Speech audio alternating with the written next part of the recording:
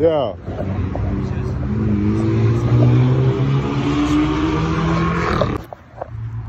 Look, bro, it's like this, bro. apologize for- for- No, I understand, but listen, hear me out real quick. So this is my problem, okay? It's the fact that you got the drugs and stuff in your hand. You feel what I'm saying? What's that syringe? To bring it over here Okay.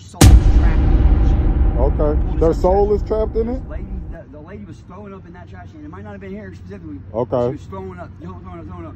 And I don't want to explain all the shit that happened. No, no, no, you good, you good, you good. But this shit is wrong, bro. It is. Like it's not It is. drugs, okay?